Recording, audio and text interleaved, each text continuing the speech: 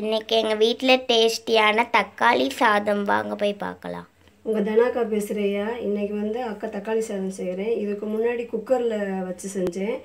இப்போ வந்து அக்கா வந்து சாதத்தை தனியாக ஆக்கி எடுத்து வச்சு நம்ம ஒரு பாத்திரத்தில் செய்யலான்னு இருக்கேன். வாங்க போய் பார்க்கலாம் அதுக்கு தேவையான பொருட்கள் அக்கா சொல்கிறேன் இது வந்து ரெண்டு பேர்த்துக்கு உள்ள சாதத்தை அக்கா வே த வேக வச்சு எடுத்து வச்சுருக்கேயா பொழு பொழுன்னு எடுத்து வச்சுருக்கேன். ரெண்டு பேர்த்துக்கு உள்ளது. அப்புறம் பெரிய வெங்காயம் ரெண்டு வெங்காயம் அறுத்து வச்சுருக்கியா கொஞ்சம் சிறிதளவு கருவேப்பிலை ரெண்டு பச்சை மிளகாய் இதுக்குள்ளேயே அறுத்து வச்சுருக்கேன். அப்புறம் அஞ்சு தக்காளி அறுத்து வச்சுருக்கியா பொடிசா. அப்புறம் புதினத்தலை வந்து சும்மா கொஞ்சம். மல்லித்தலை ஒரு கைப்பிடி அளவு. இஞ்சி பூண்டு விழுது ஒரு ஸ்பூனு. அப்புறம் செக்குலாட்டுன்னு சுத்தமான நல்லெண்ணெய். இது வந்து குழம்பு கடலப்பருப்பு ஒரு ஸ்பூனு.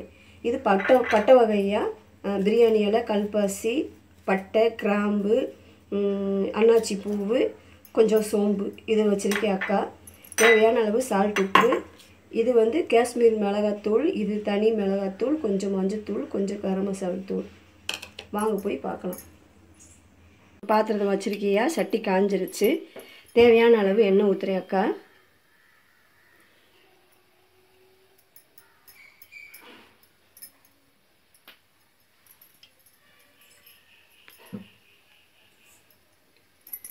எண்ணெய் காஞ்சிருச்சியா? பட்டை வகை போடுறேன் அக்கா? பட்டை வகை. இது கூட குழம்பு கடலப்பருப்பு போட்டுறேன் அக்கா.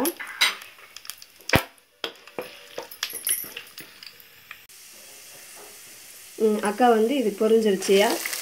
வெங்காயம் கருவேப்பிலை பச்சை மிளகாய் மூணையும் போட்டிருக்கேன். வதங்கட்டும். வெங்காயம் வதங்கிருச்சியா? இது கூட வந்து அக்கா தக்காளி போடுறேன்.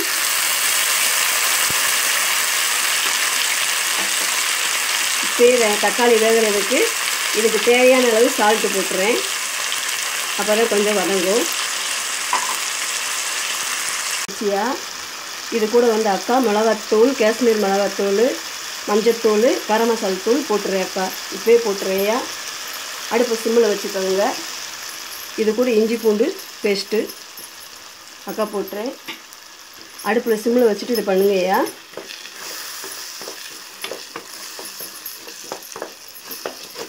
சாதத்துக்கு அக்கா வந்து தேவையான அளவு சாதம் உப்பு போட்டேன் அதனால் நம்ம இப்போ செய்கிறதுக்கு மட்டும்தான் நம்ம சால்ட் உப்பு போடணும். நிறையா போட்டுறாதீங்க இது கூட புதினா தலை மல்லித்தலை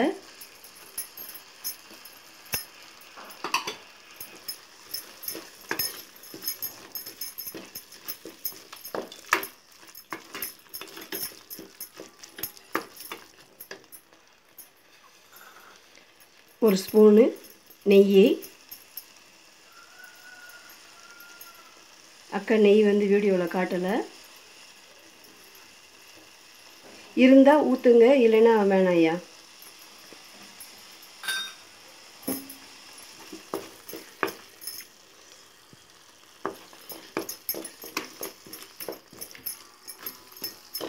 இப்போ லைட்டாக வதங்கட்டும். வதங்கிருச்சியா பாரியா இஞ்சி பூண்டு போட்டது. எண்ணெய் தனியாக மசால் தனியாக பிரிஞ்சிருக்கு பார்த்தியாயா இந்த நேரத்தில் சாதத்தை போடணும். நல்லா உதிரியாக ஆக்கிங்கய்யா லைட்டாக குழஞ்சி ஆக்கினாவே சாதம் வந்து நல்லா இருக்காது. நான் அப்போ அக்கா பாருங்கள் கிண்டும் போதே தெரியும் உங்களுக்கு உதிரியாக இருக்கிறது. இந்த மாதிரி சாதம் வைக்கும்போது விசில் வந்து ஒரு விசில் விட்டுக்கோங்கய்யா. ஆனால் அடுப்பில் வந்து சின்ன அடுப்பில் தான் சாதம் வைக்கணும். பெரிய அடுப்பில் வைக்காதீங்க. சின்ன அடுப்பில் சாதம் வச்சுக்கோங்க. அதே மாதிரி ஒரு விசில் விட்டுக்கோங்க. தண்ணி வந்து கூட வைக்க வேணாம். எப்பயுமே கரெக்டாக அளவு தண்ணி வைக்கிற மாதிரி வச்சுக்கோங்க. தால்சு சாதம் பிரியாணி சா பிரியாணி இந்த மாதிரி செய்யும்போது மட்டும். அக்கா நல்லா கிளறிக்கிறேன். கிளறிட்டேயா? இப்போ எப்படி இருக்குன்னு பாருங்கள் உதிரியாக இருக்குது பார்த்துக்கோங்க இது இந்த பக்குவத்தில் நம்ம அடுப்பை ஆஃப் பண்ணிடலாம் ஐயா. அடுப்பை ஆஃப் பண்ணிட்டேயா? ஆஃப் பண்ணி இப்போ சாதத்தை எடுத்து வச்சுருக்கேன். இப்போ எப்படி இருக்குன்னு நீங்களே பாருங்கள் இது உங்களுக்கு கண்டிப்பாக பிடிக்கும். இதே மாதிரி வீட்டில் செஞ்சு பார்த்துட்டு கமெண்ட் பண்ணுங்க ஐயா. அதுக்கு கமெண்ட் பண்ணி அக்கா சேனல் உங்களுக்கு ரொம்ப பிடிச்சிருக்குன்னா கண்டிப்பாக லைக் பண்ணுங்கள் ஷேர் பண்ணுங்கள் கமெண்ட் பண்ணுங்கள் சப்ஸ்கிரைப் பண்ணுங்கள் மறக்காமல் பெல் பட்டனை அடிச்சிருங்க ஐயா. நீங்கள் வந்து அக்கா அக்கா வீடியோ நீங்கள் ஒவ்வொரு வீடியோ பார்க்கணும்னு நினச்சிங்கன்னா சப்ஸ்கிரைப் பண்ணி பெல் பட்டன் அடித்தாதே அக்கா வீடியோ நீங்கள் பார்க்க முடியும். அடுத்த வீடியோவில் உங்களை சந்திக்கிறேன்யா பாய்